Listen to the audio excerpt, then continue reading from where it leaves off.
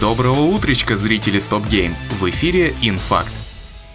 Начать хочется с новости, греющей сердечко. Наконец-то Rockstar официально тизернула сборник ремастеров стареньких GTA. В него вошли третья часть грандиозного хищения авто Vice City и San Andreas, а называться это сборище будет Grand Theft Auto The Trilogy The Definitive Edition. Для каждой игры, входящей в трилогию, разработчики обещали накрутить не только графических, но и геймплейных улучшений, но аккуратно, чтобы дух оригинала не был утерян. Сборник появится в продаже до конца года на ПК, PlayStation, Xbox и Nintendo Switch, а в первой половине следующего года трилогия заскочит и на смартфоны, как с iOS, так и с Android. Инсайдер Том Хендерсон вангует, что ремастеры GTA выйдут 11 ноября, о чем сама Rockstar собирается сообщить 22 октября, в день рождения третьей игры серии. GTA 3 исполнится 20 лет. Праздновать юбилей будут и в GTA Online. Ожидаются тематические ивенты, стилизованные шмотки, раскраски, особое снаряжение, а также поговаривают, что нечто необычное будет происходить в окрестностях Южного Сан-Андреаса. Правда, все это стартует не единовременно, а будет постепенно появляться до конца осени. Помимо этого, разработчики запустили ротацию дел и режимов противоборства, что должно освежить игру и улучшить работу матчмейкинга. Выделят классику и некоторые особые дела, дабы они не тонули в море игрового контента. Дела будут возвращать в рамках особых ивентов и снабжать их дополнительными бонусами.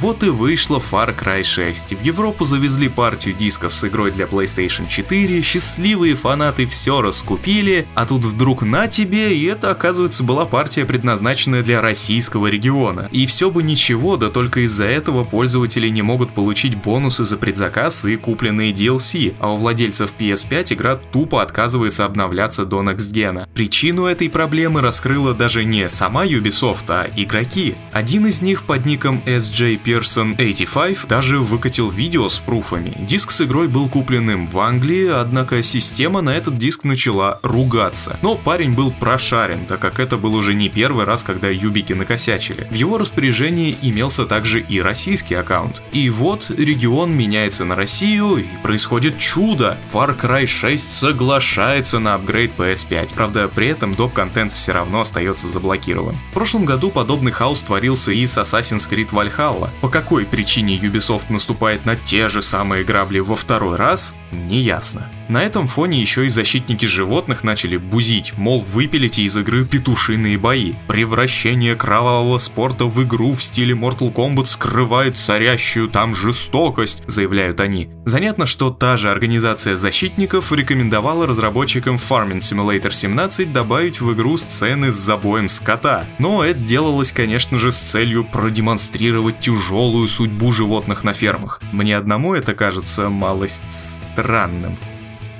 После выхода дополнения Beyond Light в Destiny 2 появилась такая штука, как хранилище контента, которое подразумевало удаление из игры старых локаций и сюжеток. Первый год развития игры уже распотрошили, и настал черед первого крупного дополнения под названием Forsaken. 7 декабря сюжетная кампания дополнения станет бесплатной. Помимо этого выйдет платный набор, открывающий доступ к рейду «Последнее желание», подземелью «Расколотый трон», всему экзотическому снаряжению и трем шифрам триггером для мгновенного получения любой экзотической пушки из Forsaken. А 22 февраля уже 2022 сюжетка Forsaken отправится в то самое хранилище. Вместе с ней и спутанные берега, и сезонный контент четвертого года вместе с миссиями Предвестия и Посланник. Город грез, поля сражений, арена доказательств и надзиратель пустоты в хранилище не отправятся. В тот же день выходит дополнение The Witch Queen, знаменующее открытие нового сезона, в рамках которого которого, помимо прочего, хранилище покинут рейд и три PvP карты. По словам разработчиков, благодаря всем этим манипуляциям они смогут чаще выпускать патчи, ускорить загрузки и почистить интерфейс. А кроме того, сокращение сюжетных кампаний не даст новичкам лишний раз запутаться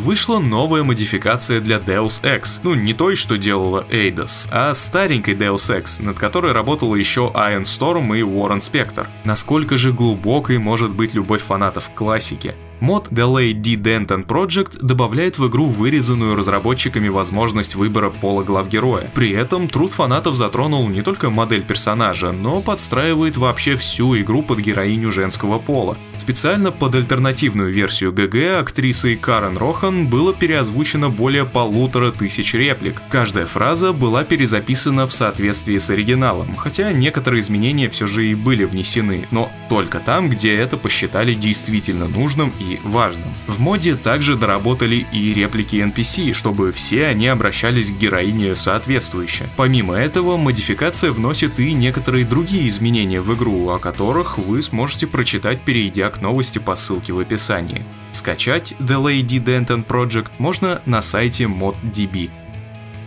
Война между Apple и Эпиками еще не закончена, несмотря на недавно завершившийся суд. В ход пошли апелляции, которые затянут это дело еще надолго. Epic Games подала возражение еще в сентябре, как только судья вынес окончательное решение. Теперь же заявку на обжалование подала и Apple, ссылаясь на то, что введение дополнительных способов оплаты и переход пользователей на сторонние сервисы в обход App Store угрожает безопасности как пользователей, так и самой площадки. Так что, господин судья, извольте пересмотреть это дело. К заявке яблочников суд обратится только в ноябре. Если у Apple удастся добиться отсрочки, то эпики не смогут обходить комиссию App Store, пока суд не разберется со всеми апелляциями. А это дело, по словам специалистов, может продлиться еще несколько лет. О финансовых потерях при этом, я думаю, говорить излишне. В 2018 году студия Obsidian перешла во владение Microsoft, однако гендиректор студии Фергюс Уркхарт рассказал о том, что Майков могли и опередить. Он не стал называть конкретную компанию, однако поделился историей о том, как обедал с одним из ее руководителей. Тот признался, что им не хватает людей и предложил купить Obsidian. Однако Уркхарт отказался по причине того, что издатель собирался отправить всех разработчиков на создание собственного проекта, хотя при этом Фергюс и рассматривал возможность слияния. Генеральный директор пояснил, что обе стороны должны быть на одной волне, чтобы ты мог не только работать с этими людьми, но и спокойно дернуть с ними пивка. Прям представляю, как он сейчас потягивает холодненькую Балтику вместе с Филом Спенсером после тяжелого рабочего дня. Сейчас Obsidian занимается сразу двумя проектами – сиквелом The Outer Worlds и загадочной экшен-ролевкой Evout. Комментарии выпуска – Пользователь под ником Джон Хедон нашел фразу, оброненную мной в пятничном выпуске, подозрительно знакомой. И все же приятно знать, что среди зрителей инфакта есть настоящие ценители высокого киноискусства. The Shimmer – респект плюс. И под конец давайте быстро пробежимся по еще нескольким интересным новостям. В прошлый четверг эпики запустили в своем магазине неделю бесплатной раздачи PC Building Simulator. И уже к вечеру пятницы игру забрали 4 миллиона пользователей. Продажами также отметилась и седьмая часть Resident Evil. Ее купили более 10 миллионов раз. И это без переизданий, что стало рекордом для всей серии. После скандала в сообществе GOG, связанном с Hitman 2016 года, игру выпилили из магазина. В интернетах пробежал слух, что в конце 2021, вероятно на The Game Awards, которая пройдет 9 декабря, будет анонсирован ремейк старой игры с PlayStation.